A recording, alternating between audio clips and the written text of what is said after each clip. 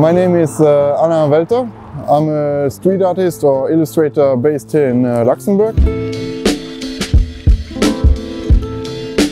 In uh, summer 2020 I realized the biggest and also most complicated uh, project I did so far. Uh, the city of uh, Differdange and ArcelorMittal uh, gave me the great opportunity to paint like the five cooling towers.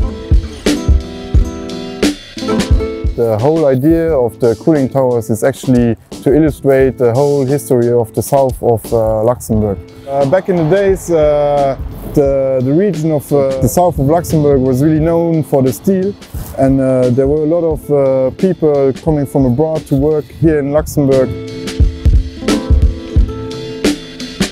and uh, I illustrated uh, the whole history, how it evolved, but I also illustrated the life nowadays, uh, how uh, people uh, speak uh, here in the south and their sayings and the architecture.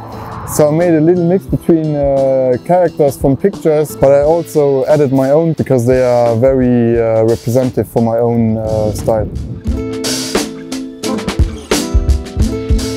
The second main element uh, in the towers are the row houses which were built up uh, back in the days, uh, mainly for workers. At the end I have to say I'm really grateful that I could uh, realize such a project because uh, at the end of the day I think uh, painting like cooling towers is a once in a lifetime opportunity